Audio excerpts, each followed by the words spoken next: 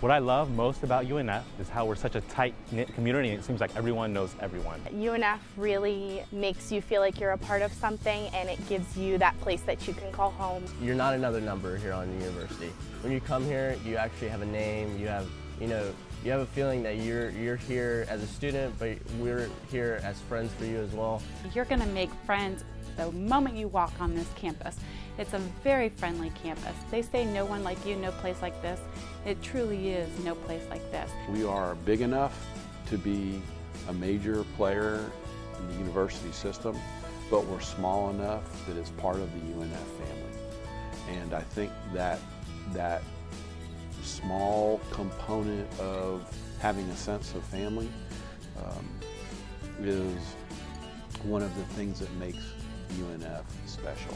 You don't get lost here as just another number. You are a part of the UNF family. You have an identity, and we respect that.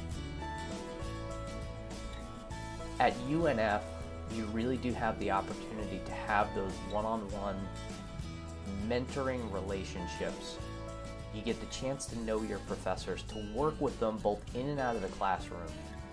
You have the world's best faculty providing those kinds of opportunities, not to an elite group of graduate students, but to all of our undergraduates. It's not like sitting in a 300 student classroom or auditorium. You know, it, it has that more personal feel and and all of the faculty have very open door policies that students can come talk to us at any time and uh, all the way up to the directors. Teachers and professors and support staff and everyone is very willing to help you or they will always kind of tell you, I would be more than happy to sit down with you, talk with you. If you have any questions, please let me know.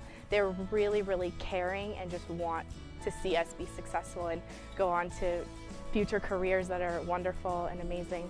I particularly like the fact that the faculty kind of not only engages you, but they encourage you to not only be a good student, but to participate in campus life. There's so many little secluded spots on the campus. We have the rock climbing, and then we have the ropes course, and the, the grounds are absolutely beautiful. And you're in Florida, just minutes from the beach. Like, it's an amazing, amazing campus with so many different resources. At a lot of universities, you might have expert researchers working on their research, but then somebody else teaching the class.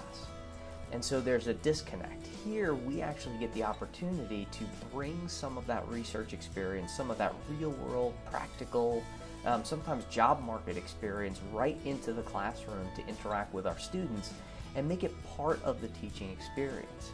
Four to five weeks in your first um, semester, you're in nursing homes, you're in the community, you're hands-on patients, you are spending time with those patients right out of the gate, never having done anything like it before. They really don't waste any time. We try to get the students out there on these job sites to see as many as possible while they're in school. So the students get their hands on that and they get to see what a project is really like. They estimate the project, they do the scheduling for the project, and they do all of the risk management and the, and the, uh, the safety. And so they get to see a real project as they're going through school on a small scale. We have one of the world-renowned shark experts um, on campus, and he takes students out on the boat with him to catch sharks. Um, he runs a class where they actually do that, and then he has a research team that students can join where they actually go out with this world expert catching and tagging sharks. And those are the kinds of opportunities that no other institution really can offer. As a parent of two children, both grown now, knowing what I know about the University of North Florida, this would be the type of place you would want your children to get an education. Opportunity. Exemplary. Great. Unforgettable. Rewarding. Transformational.